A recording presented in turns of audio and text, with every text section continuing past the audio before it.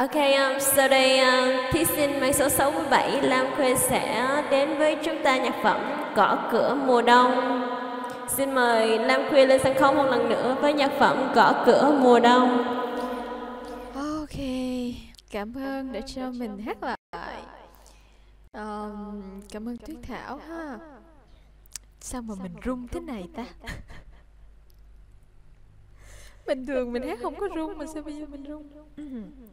Ừm. Ok, mình hát ha.